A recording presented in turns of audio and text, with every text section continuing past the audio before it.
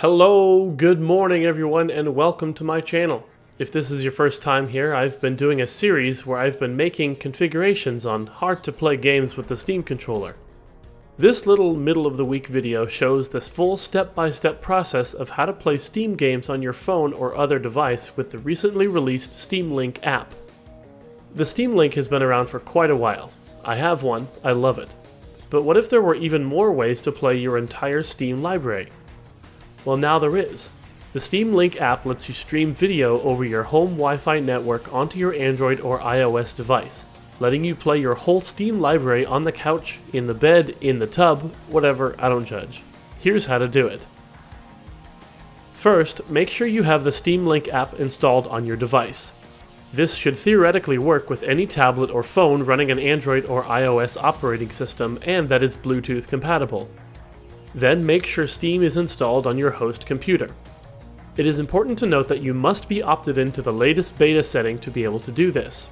A very important note, the host computer and the device you'll be playing on must be on a network with the same name.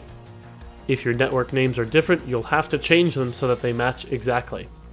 The host computer will need to be connected to your network via an Ethernet cable or a 5 GHz Wi-Fi connection. The device doesn't have to be connected with 5 GHz Wi-Fi, but it really helps. At this point, you can use any controller that supports Bluetooth connectivity.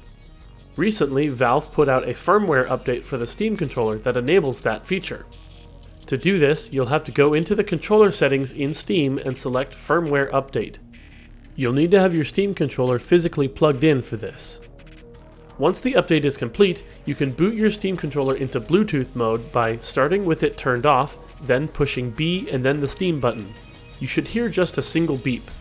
Then the light will flash indicating that it is in pairing mode.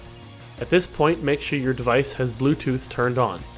Now you can open the Steam Link app on your device and it should automatically detect your host computer. Make sure the host computer is on and Steam is running. Then the app will detect your controller and network settings, and you should be good to go. You should be able to use your controller to navigate the menus in the app, so you can just press play and go. I used this goofy looking clip I made with some moldable plastic to hold my phone and controller at the same time. If you need any additional help, check out the guide in the description put out by Valve.